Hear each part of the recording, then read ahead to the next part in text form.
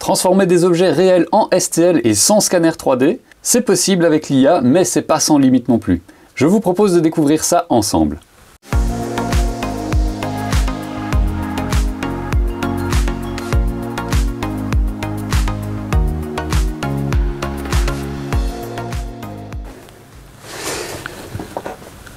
Bon, alors, bienvenue dans ce petit tuto, et vous allez le voir, c'est un tuto qui est un peu plus improvisé que ce que je fais d'habitude, mais bah, c'est dans le ton de l'actualité, et je trouvais que c'était intéressant de faire cette vidéo, donc bah, voilà, j'espère que vous la trouverez intéressante.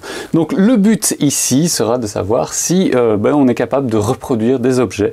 Alors des objets plutôt figuratifs, comme ici un dinosaure, un petit lama et euh, une petite voiture, donc euh, mais aussi des objets un peu plus techniques, comme euh, bah, ici c'est une pièce qu'on m'a demandé euh, de reproduire en 3D. donc voilà, le but sera de savoir si grâce à l'intelligence artificielle, on peut recréer ces objets-là et les utiliser décemment en impression 3D.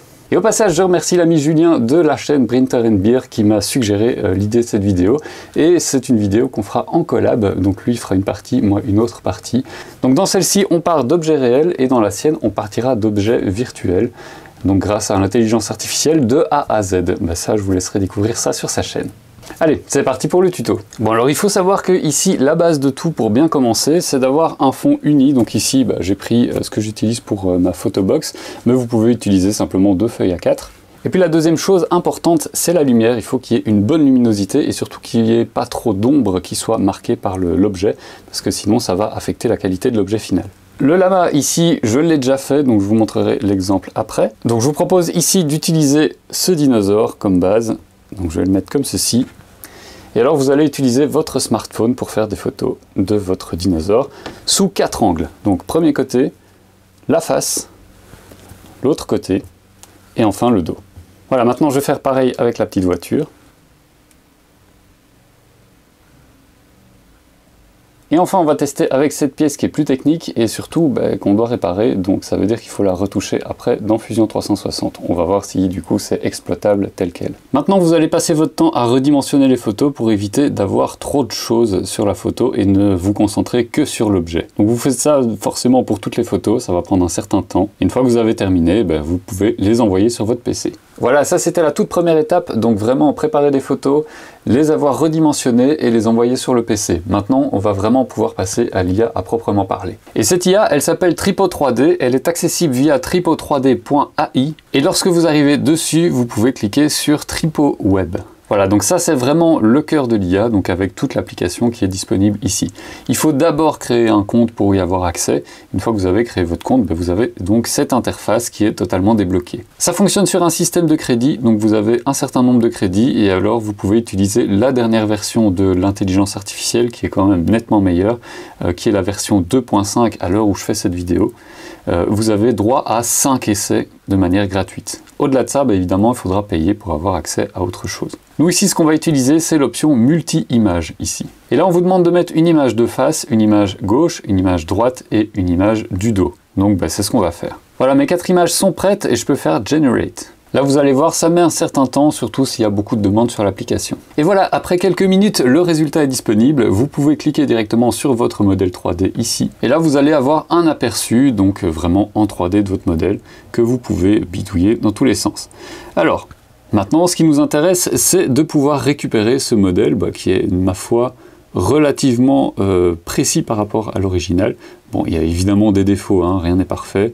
Euh, on voit quand même qu'il y a euh, des petites choses qui sont représentées ou surreprésentées, notamment les, lignes de, moulure du modèle de base. Mais bon, dans l'ensemble, voilà, ça a pris quelques minutes et quand même, on n'a que 4 photos de base. Pour récupérer ceci en STL, qu'est-ce qu'on va faire? On va aller sur Custom, on va ici aller dans 3D Printing. Voilà, une fois qu'on a choisi 3D Printing, on peut euh, choisir le format de sortie, donc 3MF ou bien STL, qui sont les plus utilisés donc en impression 3D. Moi je vais rester sur le 3MF, et il suffit ensuite d'appuyer sur Download ici. Là encore une fois, vous attendez un petit peu, et à un moment donné, voilà, vous allez recevoir votre fichier.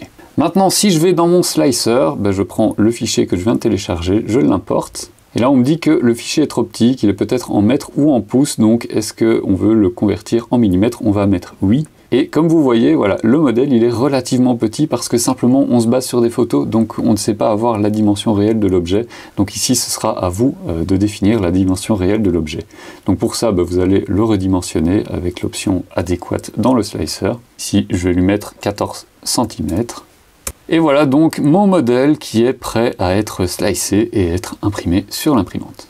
Alors évidemment, quand vous l'imprimez, n'oubliez pas les supports si jamais il y en a besoin. Et puis, bah, vous lancez l'impression.